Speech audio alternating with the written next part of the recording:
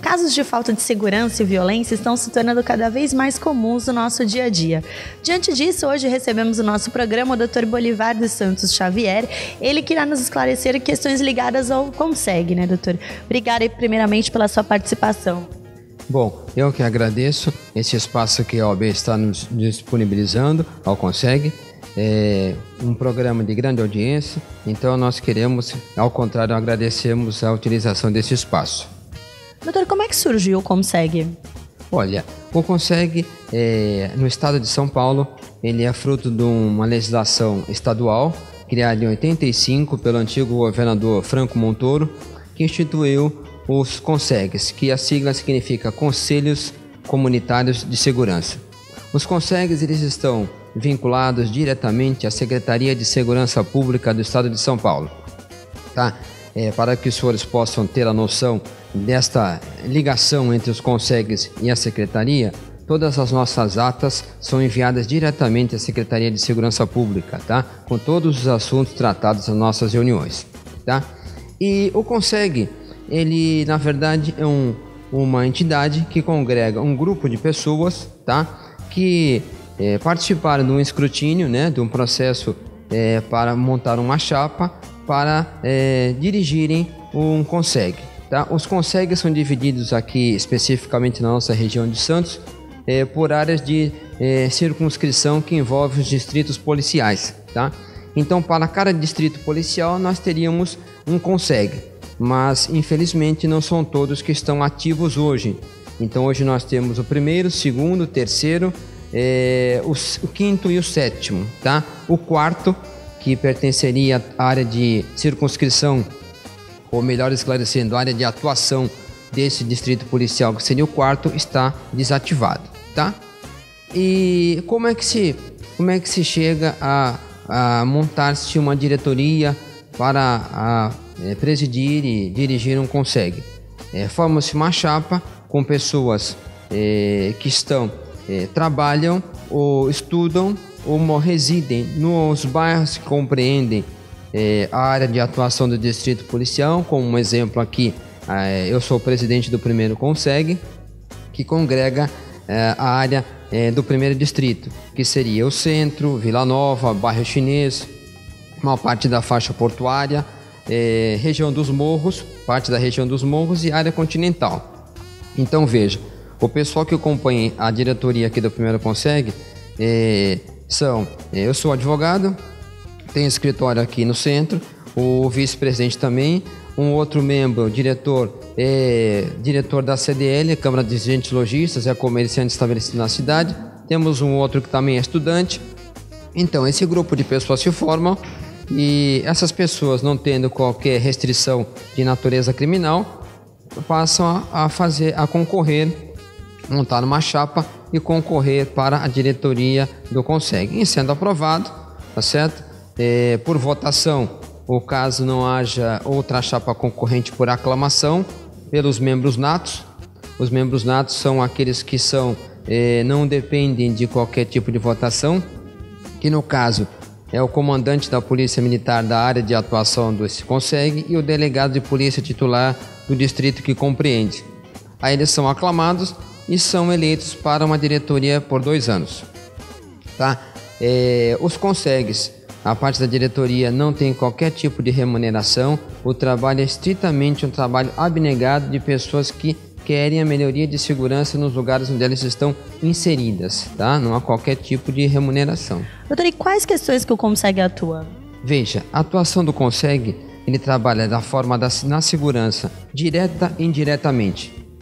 Por que, que a gente faz esses dois prismas? Porque a questão de segurança direta é aquelas essas questões que envolvem é, é, os crimes é, já praticados, o que, que a gente pode atuar para que ele não mais ocorra, onde está ocorrendo a falha, onde está ocorrendo alguma medida que precisa ser tomada para inibir aquele tipo de crime. E as medidas secundárias, medidas indiretas, são aquelas medidas que é, originam que medidas do poder público, seja da polícia ou do poder público, tá certo? Para que não ocorram ah, é, ah, atos criminosos. Como exemplo, né, nós vamos, possamos ter uma, um local com pouca iluminação. esse local com pouca iluminação ele vai favorecer a atuação de meliantes. Então o que, que a gente é, atua junto ao poder público municipal, que atualmente é o responsável pelo fornecimento de energia elétrica aqui na nossa cidade. Então o que acontece? A gente atua para que ele faça essa reposição de lâmpadas, ilumine aquele local, evitando assim que as pessoas que lá passem é, possam ser vulneráveis a sofrerem qualquer tipo de atitude criminosa. Outro exemplo é um bem público, né, que está sendo, é, não está sendo utilizado a contento, uma praça, que o poder público acaba é, é, deixando de fazer as benfeitorias nela, também se torna um local de fácil acesso, porque você sabe que um terreno, um terreno que ele de pouca utilização, ele começa a ser utilizado indevidamente. Utilização para o bem acaba sendo utilizada por pessoas é, que vão lá fazer consumo de drogas e tornam vulneráveis as pessoas que circulam pela toda aquela região. Então são atitudes que a gente toma é, pontuais quando já o fato já ocorreu e aquelas que a gente possa com, com, é, colaborar com os poderes públicos para que não aconteçam ou não voltem a acontecer. Então é importante essa atuação do Consegue, porque como eu já expliquei aqui de forma breve, Além do capitão comandante da companhia da Polícia Militar e do delegado, nós temos a participação da CT, da ouvidoria da prefeitura,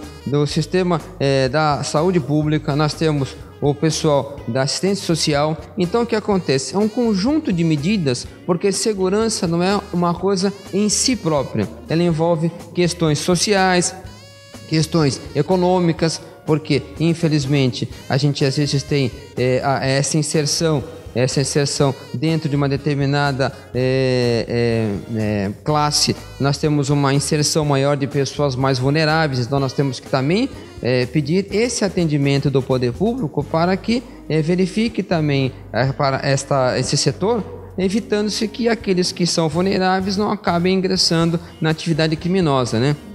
Então é todo um trabalho social. Segurança não é em si aquele ato de repreensão, mas é também o trabalho social, porque se nós cuidarmos do menor hoje, daquela pessoa que está vulnerável, certamente nós teremos um, uma pessoa, uma pessoa humilhante, uma pessoa do mal a menos é, é, é, debatendo, ou seja, criando um conflito com a sociedade de bem. Então é cuidando do jovem hoje do jovem que está em situação vulnerável, do adulto que está em situação vulnerável, nós teremos com certeza menos criminalidade no futuro. Então, como o senhor mesmo falou, é importante essa representatividade também em outros segmentos e a participação da sociedade, né?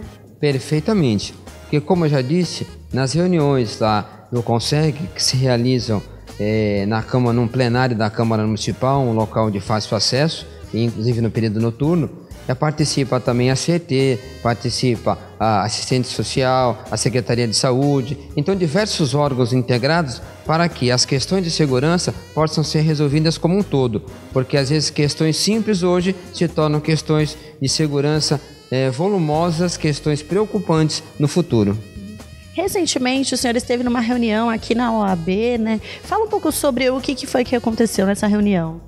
Olha, nós tivemos aqui eh, nos apresentando para essa junta de administração provisória, tá? Fomos muito bem recebidos, porque nós precisamos da participação da OAB em todo esse processo, tá? Se nós não tivermos a participação de todos os órgãos que integram a sociedade na busca pela melhoria da segurança, nós nunca vamos ter sucesso. Então, cada vez mais nós precisamos agregar todos os órgãos que eh, participam e que, naturalmente, tem disponibilidade de colaborar, de prestar uma grande, um papel relevante, uma grande importância nessa busca por melhoria da segurança. E a OAB, além de estar é, representar esse papel, ela também está inserida na área que pertence à atuação do nosso, aqui eu represento o primeiro Consegue, porque ela está inserida aqui no centro. Além do mais, é uma entidade diferenciada que tem poderes constitucionais de ajudarem muito, porque é uma entidade diferente das outras que pode entrar com ações civis públicas. Então, em casos em que nós vejamos a necessidade dessa atuação, nós temos certeza de que poderíamos contar com a OAB nesse nosso trabalho. Tá certo, então, doutor, obrigada aí mais uma vez pela sua participação e por todos os seus esclarecimentos e parabéns pelo trabalho. Nós aqui agradecemos e só para nós finalizarmos, as reuniões do primeiro Consegue se realizam, como já disse, na Câmara, no plenário da Câmara Municipal, todas as últimas segunda-feiras de cada mês, tá? Então, será às 19 horas, tá? São reuniões que é, geralmente vão até as 20h30 e será um prazer as pessoas comparecerem, porque somente com a sociedade unida em prol do objetivo comum é que nós teremos sucesso.